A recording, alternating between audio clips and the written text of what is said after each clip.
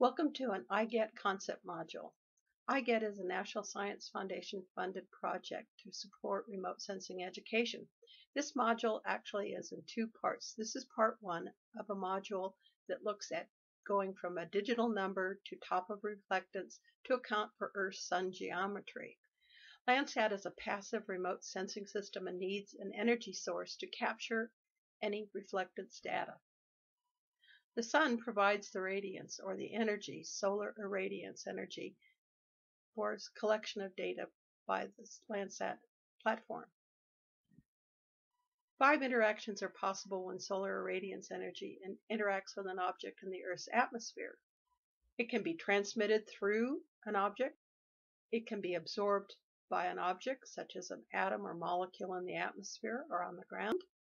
It can be scattered by those same molecules and atoms in the atmosphere, and it can be reflected. So an object can be uh, absorb part of it and reflect part of the wavelength. Solar irradiance can also be re-emitted. This is showing how it's re-emitted by different um, objects, and it's re-emitted usually at a lower wavelength than is heat or thermal energy. We're going to really concentrate or focus on the reflected energy from uh, different objects on the Earth's surface by Landsat. How is this data that's captured uh, presented? Well, it's presented as a brightness value or a digital number that reflects that brightness value. This is an image from Landsat where you can see different shades of gray or brightness.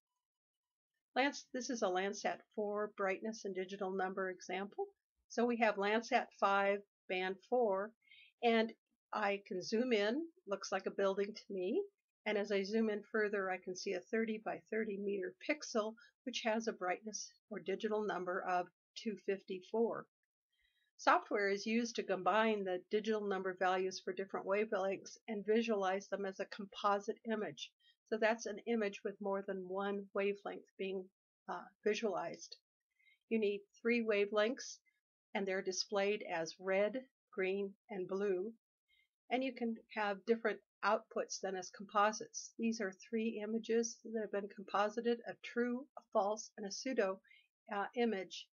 There are many more, but each of the Landsat missions does use different wavelengths to produce these uh, composites.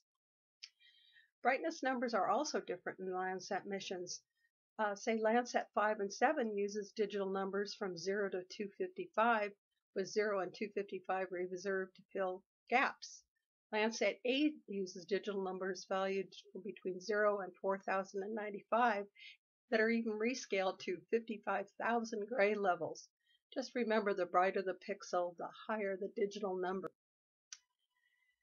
Why would we want to know anything about the digital number or converting and correcting these? Well, the digital numbers are based on the solar irradiance energy on the date of collection. And the sun and earth geometry actually affects how much solar energy is available to be collected. These two uh, geometries are the distance of the earth from the sun and the angle of incidence of solar irradiance. The average distance uh, is from the, the Earth from the Sun is 93 million miles, and this uses a uh, an astronomical unit, which is that average distance. You can see that when we're closest to the Sun, we're less than one astronomical unit, and we're farthest from the Sun, we have a slightly greater uh, value, 1.034 astronomical units. Also note that uh, this uh, schematic is not to scale. So why is it colder in the northern hemisphere, even though the Earth is closer to the sun in January? Well, look at uh, the tilt of the Earth. We're going to look at that and how it affects the amount of energy. The Earth is actually tilted on its axis approximately 23.4393 degrees. So the sun's rays in January are coming in at an angle, where in June and July the sun's angles are more directly into the northern hemisphere. Think about a flashlight. You have a flashlight bulb, you fly, fly, uh, shine it on a wall directly, it will have a, a certain area that that bulb illuminates. Tilt that flashlight up toward the ceiling, and as you get more and more tilt, the area that that light bulb illuminates is spread over a larger area. So direct rays actually just have more energy per unit area, where the tilter rays have less area, less energy per unit area. This is another diagram illustrating the same sort of principle, and it's taken either in early spring or early autumn and looks at the solar rays. You can see in these dates that the direct rays are coming into the equator and the longer rays at A are uh, being spread over a larger area, much like our flashlight flash bulb look. Note too that the rays travel through less Earth's atmosphere at A, more of the Earth's atmosphere at A than at B. So when we want to use Landsat imagery, we really should collect for these differences in energy available. So think about land use change over a period of time when you're using two different dates. They may have very different energy values. Pre and post events, such as for fires or natural or man made disasters, also need to be corrected.